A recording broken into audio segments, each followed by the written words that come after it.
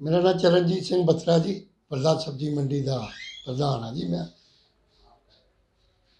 ਕੀ ਕਹਿਣਾ ਚਾਹੁੰਦੇ ਤੁਸੀਂ ਵੀ 8 ਤਰੀਕ ਨੂੰ ਕਿਸਾਨਾਂ ਦਾ ਸਮਾਗਮ ਦੇਖੋ ਜੀ 8 ਤਰੀਕ ਦਾ ਤੇ ਇਹ ਕਹਿਣਾ ਚਾਹੁੰਦੇ ਆ ਕਿ 8 ਤਰੀਕ ਨੂੰ ਜਿਹੜੀ ਕਿਸਾਨਾਂ ਯੂਨੀਅਨ ਵੱਲੋਂ ਪੂਰਾ ਹਿੰਦੁਸਤਾਨ ਬੰਦ ਹੈ ਉਹਦੇ ਵਿੱਚ ਅਸੀਂ ਵੀ ਵੱਲਾ ਮੰਡੀ ਬੰਦ ਕਰ ਰਹੇ ਹਾਂ।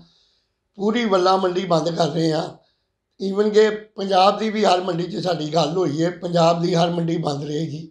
ਉਹਦੇ ਨਾਲ ਨਾਲ ਮੈਂ ਆਪਣੇ ਸ਼ਹਿਰ ਵਾਸੀਆਂ ਨੂੰ ਵੀ ਬੇਨਤੀ ਕਰਾਂਗਾ ਕਿ ਜਿਹੜੇ ਕਾਲੇ ਕਾਨੂੰਨ ਸੈਂਟਰ ਸਰਕਾਰ ਲਿਆਈ ਹੈ ਜਦ ਤੱਕ ਇਹਨੂੰ ਵਾਪਸ ਨਹੀਂ ਲੈਂਦੀ ਹਰ ਵਕਤ ਹਰ ਵੇਲੇ ਕਿਸਾਨ ਜਥੇਬੰਦੀਆਂ ਦੇ ਨਾਲ ਸਾਡੀ fruit and vegetable merchant union ਖੜੀ ਹੈ ਇਵਨ ਪੰਜਾਬ ਦੀ ਹਰ ਮੰਡੀ ਸਾਡੇ ਨਾਲ ਖਲੋਤੀ ਹੈ ਤੁਹਾਨੂੰ ਇਨਸਾਫ ਨਹੀਂ ਮਿਲਿਆ ਤੁਸੀਂ ਵੀ ਜਾਓਗੇ ਦਿੱਲੀ ਜੀ ਲੋੜ ਪਈ? ਹਾਂ ਜ਼ਰੂਰ ਦੁਬਈ ਦੇ ਜ਼ਰੂਰ ਜਾਵਾਂਗੇ ਜੀ ਜ਼ਰੂਰ ਦੁਬਈ ਦੇ ਪੰਜਾਬ ਚੋਂ ਹਰ ਮੰਡੀ ਚੋਂ 10 10 20 20 ਬੰਦੇ ਇੱਕ ਇੱਕ ਬੱਸ ਲੈ ਕੇ ਅਸੀਂ ਜਾਵਾਂਗੇ ਜ਼ਰੂਰ ਦੁਬਈ ਤੇ ਜ਼ਰੂਰ ਜਾਵਾਂਗੇ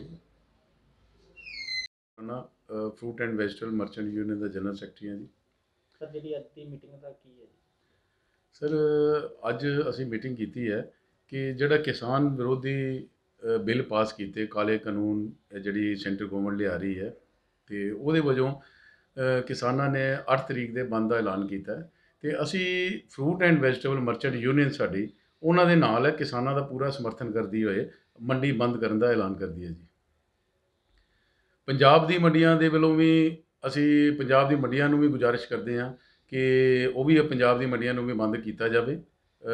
ਅਗਰ ਜ਼ਰੂਰਤ ਪਈ ਤੇ ਪੰਜਾਬ ਦੀਆਂ ਵੱਡੀਆਂ ਮੰਡੀਆਂ 50 ਮੰਡੀਆਂ 40 50 ਮੰਡੀਆਂ, ਪੰਜਾਬ ਦੀਆਂ ਵੱਡੀਆਂ ਉੱਥੋਂ ਵੀ ਅਸੀਂ ਅਗਰ ਜ਼ਰੂਰਤ ਪਈ ਤੇ ਦਿੱਲੀ ਜਿਹੜੀ ਐਜੀਟੇਸ਼ਨ ਹੋ ਰਹੀ ਹੈ, ਉਹਦੇ ਵਿੱਚ ਅਸੀਂ ਹਿੱਸਾ ਲਵਾਂਗੇ। ਇੱਕ ਇੱਕ ਬੱਸ ਹਰ ਮੰਡੀ ਦੇ ਵਿੱਚੋਂ ਲੈ ਕੇ ਜਾਵਾਂਗੇ ਜੀ।